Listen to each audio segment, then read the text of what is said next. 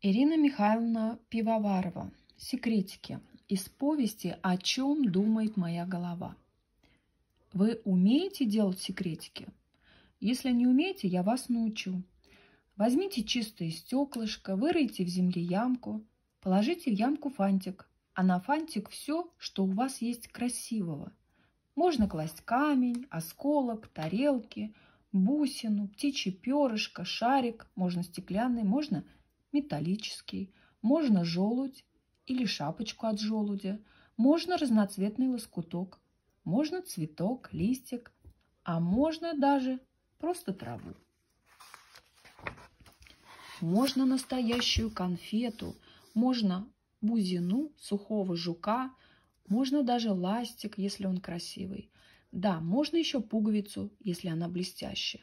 Ну вот, положили. А теперь Прикройте все это стеклышком и засыпьте землей, а потом потихоньку пальцем расчищайте от земли и смотрите в дырочку. Знаете, как красиво будет? Я сделала секретик, запомнила место и ушла. На завтра моего секретика не стало. Кто-то его вырыл, какой-то хулиган.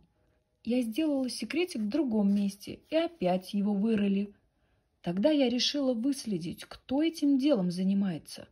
И, конечно же, этим человеком оказался Павлик Иванов. Кто еще?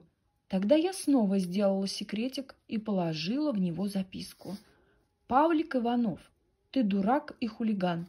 Через час записки не стало. Павлик не смотрел мне в глаза. «Ну как, прочел?» – спросила я у Павлика.